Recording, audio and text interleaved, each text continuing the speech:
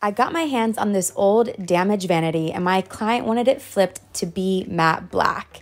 It had tons of water damage, so I cleaned the piece down, removed all the drawers, and vacuumed out years of dust.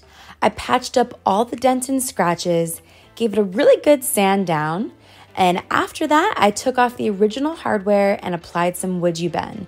This stuff's great. You heat it up, apply it in any design you want to, and it can really transform and add some character to a piece.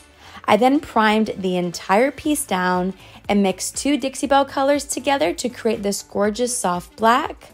I added some finishing touches to the piece and then I painted the original hardware to match the vanity and then I buffed the inside with this incredible stuff called Big Mama's Butter, and this is the final result. That's the before, and this is the after.